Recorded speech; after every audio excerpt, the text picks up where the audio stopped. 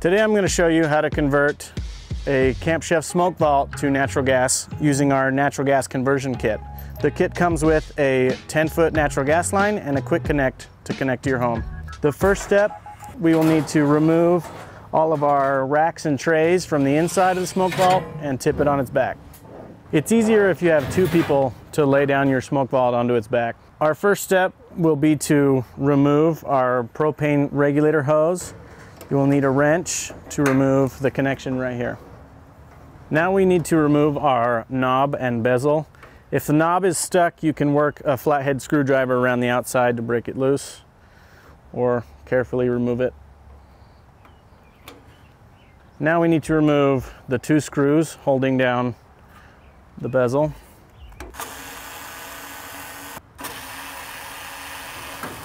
Next we need to remove the burner assembly we need to remove these four screws from the bottom as well as the nuts holding them in place on this side.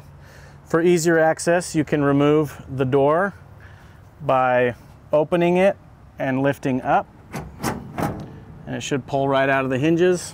You can set that aside. And now we can remove our four screws just holding by hand on the nut on the back side.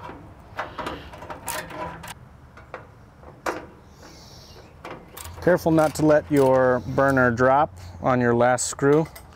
Make sure you hold the burner down as you remove that last screw. Then we simply can drop the burner out and set it on our table. Next we need to remove these three screws that are holding down our valve. There are nuts and bolts, same way we had to remove the burner assembly off the body, hold the nut on the back, and remove the screw.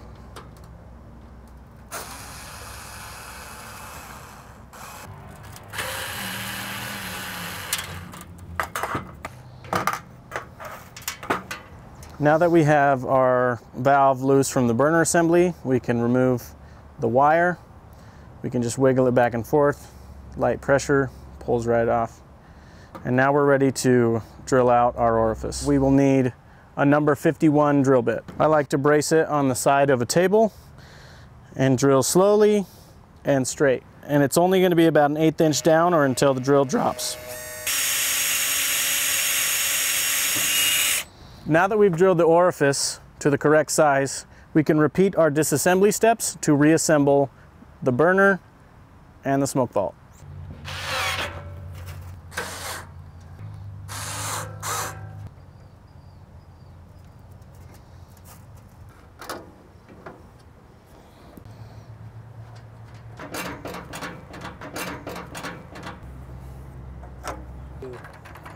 Now that we've finished reassembling the smoke vault, we can attach our natural gas line. Can just thread it on by hand and tighten it up with the wrench. Once you get your natural gas line attached, we can go ahead and stand the vault back up. Again, it's easiest if you have someone who can help you stand it up.